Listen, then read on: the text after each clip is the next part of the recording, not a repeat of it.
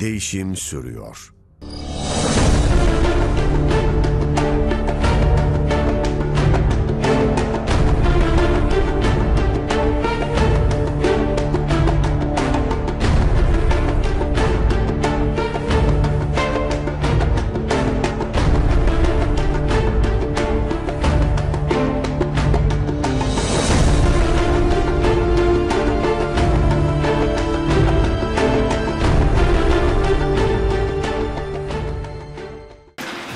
Sağ olun, var olun.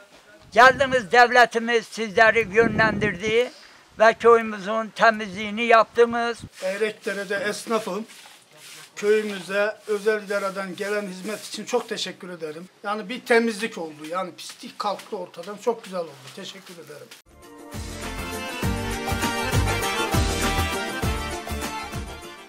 Ben Eyrekdere Muhtarı Adem Daş'tan İl Özel İdare'ye Köylere Hizmet Götürme Birliği adında bize getirdikleri bu hizmetlerden dolayı teşekkür ederim.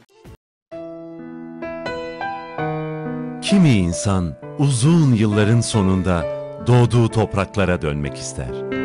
Geçmişine, çocukluğuna sanki. Ve o çocuk zamanlara borç ödemek ve selam durmaktır amaç sanki.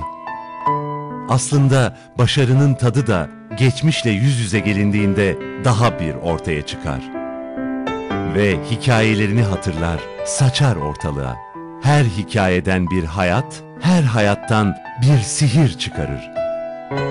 Zaten insan dediğimizde yol ve hikayeden ibaret değil midir?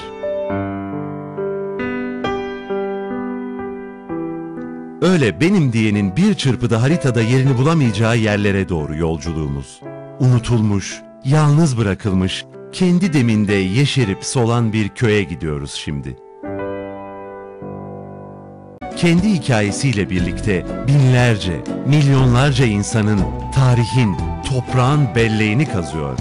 Gurbeti unutmak, daha doğrusu unutturmak istiyor.